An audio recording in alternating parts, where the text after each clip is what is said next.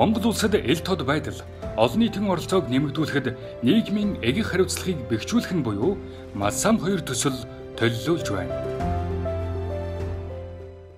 Манай аймагт төсвийн хөрөнгө оруулалтаар хийгдсэн ажилд иргэдийн оролцоо талуудын хамтын ажиллагааг нэмэгдүүлэх чиглэлд ахиц дэвшил гарч байна. Аймгийн ил тод байдлын төвшөнд 2 жил тутамд удирлын хугацаатаагаар одоо иргэдийн оролцоотойгоор уулзалт хэлцүүлгийг бол зохион байгуулж ирсэн.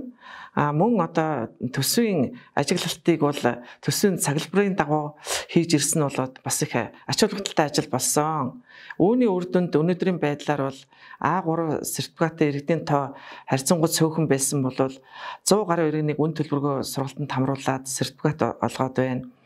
Ингэснээрээ бол одоо тендер худалдаах ажиллагаанд иргэдийн оролцоо нэмэгдэж мөн одоо төсвийн хөрөнгө оруулалтаар хийгдсэн ажилд хөгжлийн бэрхшээлтэй иргэдийн төлөөлөл бол одоо хамрагддаг болсон ийм сайхан акс төвчлөл бий болоод байна. Мөн үүнээс гадна төсөвт иргэдийн оролцоог нэмэгдүүлэх чиглэлээр хийсэн ажлынхаа үр дүнг тэдэнд тайлгандаг ийм тогтолцоо бий болж байна. А төсвийн хяналтын сонсголыг аймгийн иргэдийн төлөөлөгчдийн хуралдаагаа одоо хамтраад анх удаага Булган аймагт бол либерал эмгтээчдийн оюуны сан маань бол одоо зохион байгуулсан Үүний үр дүнд бол одоо бусад сумдуудад энэ ажлыг одоо бас юм зохион байгуулах ажлын эхлэл бол одоо тавигдад явж байгаад бол их сайшилтай санагддаг юм аа. Ингэснээр бол одоо төсвөт иргэдийн оролцоо бол улам одоо нэмэгдэж төсөв одоо үр ашигтай хөрөнгө оруулалт үр дүнтэй байх ийм сайхан алхмууд бол одоо хийхт боломж олцоо бүрдэж байгаамаа. Мөн одоо сум болгон дээр иргэдийн хяналтын бүлэг 2-оос 5 хүний бүрэлдэхүүнтэйгээр одоо байгуулагдаж байна. Энэ маань бол одоо үндсэндээ тухайн багтаа хийгдэж байгаа хөрөнгө оруулалт бүтээн байгуулалтын ажилд иргэдийн оролцоо нэмэгдүүлж энэ хэрээр одоо ажлын маань чанар чансаа одоо нэмэгдэх ийм сайн одоо бас үр дагавартай байгаа. А мөн түнчлэн бусад одоо төрийн байгууллагуудын уялдаа холбоо харилцаа хамтын ажиллагаа сайжрах одоо ийм сайхан боломж олцоо бол одоо нэмэгдэж байна.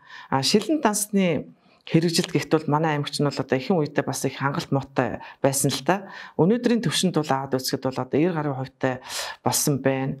А 5 саяас дээш одоо бараа бүтээгдэхүүний тухайн мэдээ мэдээлэл байдгүй болсон бол өнөөдөр одоо бүхий л одоо гарч байгаа зарлуудаа иргэдтэй тайлгандаг ийм сайхан одоо хэв шинжтэй одоо болсон байна. Төр иргэний нийгмийн түншлэлийн хүрээнд одоо төлөвлөгөө гарган ажилласан бол одоо аймгийн либерал эмгтээчтэй олон улсын сан болгоны төрийн төрийн бас байгууллагатай хамтарч шилэнсэн хэрэгжилтийг одоо улирал жилээр шалгаад шалгадаг. За одоо мэдээллийн самбар дээр байгууллагуудын мэдээллийн самбар дээр тавьсан мэдээллийг одоо хойгорд нь шинтлүүлнэ.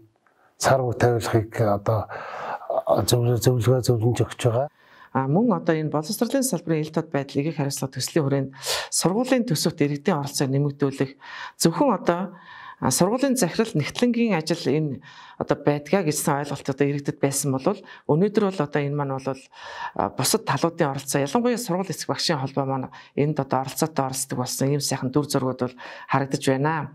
Цаашдаа бол бид нар одоо энэ байдлаа бол одоо улам сайжруулж төсөвт одоо иргэдийн оролцооны шин соёлыг төлөвшүүлэх чиглэлээр өргөн алхмуудыг хийхээр одоо төлөвлөж байна. Санхүүжүүлэгчд Швейцарын хөгжлийн агентлаг нийгмийн эгэх хариуцлагын дэлхийн түншлэл хэрэгжүүлэгч Дэлхийн банк. Хамтран хэрэгжүүлэгчид Globe International төв. Хүүхдийг эвээх сан. Дэлхийн зүүн Монгол олон улсын байгууллага